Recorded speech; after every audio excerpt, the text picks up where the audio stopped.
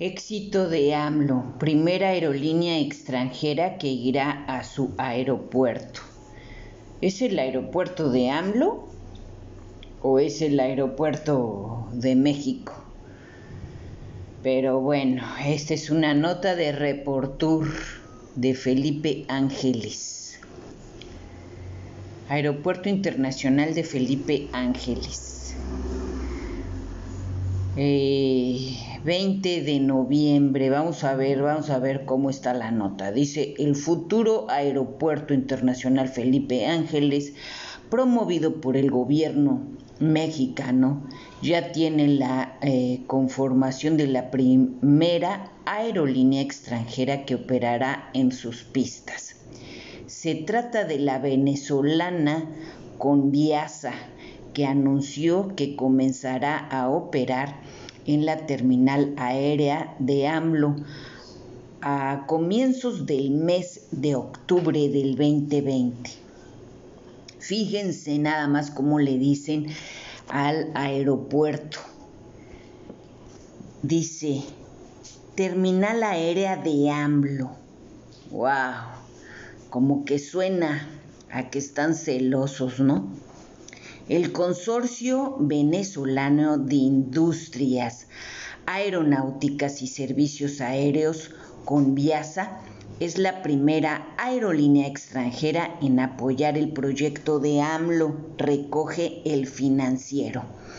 En cuanto a las nacionales, Volaris y Viva Aerobús ya han confirmado su deseo de volar en el futuro aeropuerto mexicano. Volaris lo anunció hace unas semanas puntualizando que operará desde el Aeropuerto Internacional Felipe Ángeles a partir del 21 de marzo del 2022 cuando está eh, previsto que la terminal aérea inicie operaciones. Días después se unió Viva Aerobús, cuyo director general Juan Carlos Suazua ha explicado que están a la espera de que se publiquen las tarifas para definir itinerarios. Entre las compañías aéreas que han rechazado operar desde el aeropuerto de AMLO están Air Canada y Aeroméxico como recoge Reportur. Bueno, pues Aeroméxico Aeroméxico no quiere, pero al rato la veremos, la veremos rogando, rogando para estar ahí en ese aeropuerto, porque está padrísimo, ¿eh?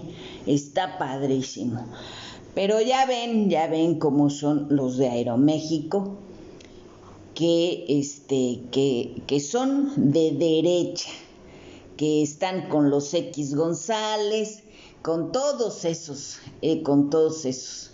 A ver, vamos a leer, dice Vladimir González, ojalá bola de envidiosos, en lugar de que digan que hizo la obra en chinga y que bien hecha hasta con Museo de Mamut salen con sus...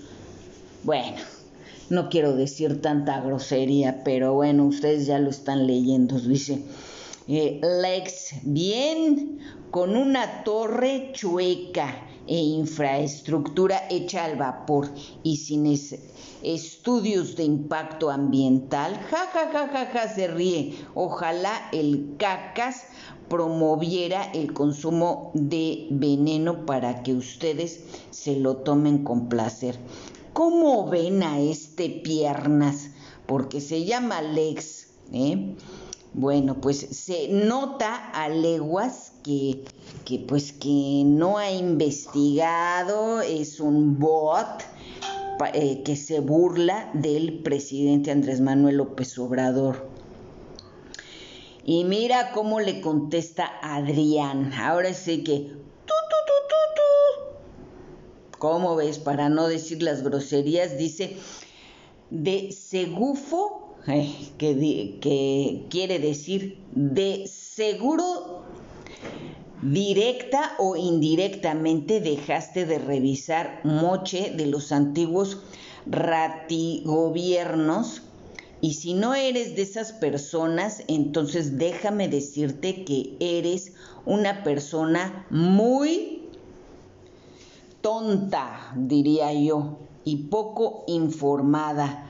Vaya raya en la estupidez humana y, eh, y de los primeros, pues qué bueno que te arda. Uy, uy, uy. El mejor presidente de la historia, Andrés Manuel López Obrador, un dato solo para que te informes, a México lo eligieron de 183 países de 190 que conforman a la ONU para presidir el Consejo de Seguridad Mundial.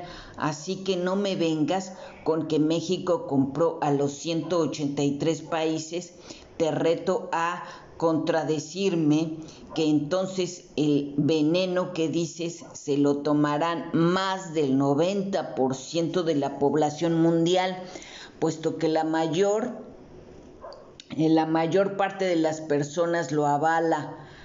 Eso, eso me gusta, que les arda el ya saben qué y que les siga ardiendo. Y órale, dice tanta grosería, pero bueno, que les siga ardiendo y órale y órale, ya se acabó la robadera, ahora nos toca a otros robar.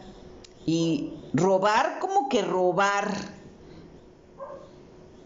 Más bien nos toca disfrutar, ¿no? De privilegios que antes tenían otros. Ja, ja, ja, ja. Bueno, esto es lo que dice, dice Luis. Otro, otro, a ver, vamos a ver otro comentario, otro ya. Primer lugar, Adrián aprende a escribir. Ya le dijeron, Trino la escuela te la pasaste por los otras groserías, dice, pero, pero ¿qué se, ¿qué se puede esperar si todos los de la 4T son así? Pues no, yo no, yo, a lo mejor algunos me dicen naca, pero no soy corriente. A ver, vamos a ver. Oscar Velarde Mendoza. No creo que le vaya mejor económicamente. Los resultados sociales están contentos con los que se les quiten al que tiene, aunque ellos nada les den. Richie dice, ¿qué manera de pensar la tuya? ¿Crees que todos somos nacos? Ah, no, no estás muy mal.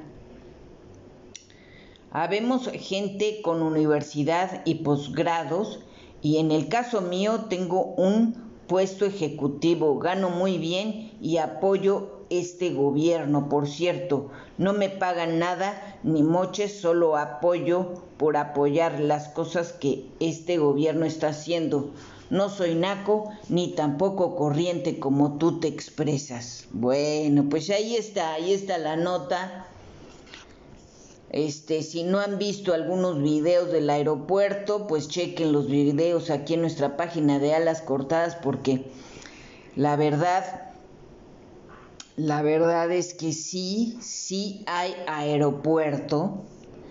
Y bueno, pues chequen los últimos videos que hemos puesto ahí para que vean. Muchas gracias, nos vemos en el próximo video. Hasta luego.